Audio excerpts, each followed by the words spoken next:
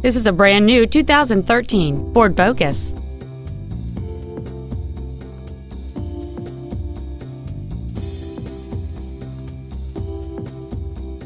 Its top features include a multi-link rear suspension, a low tire pressure indicator, aluminum wheels, and traction control and stability control systems.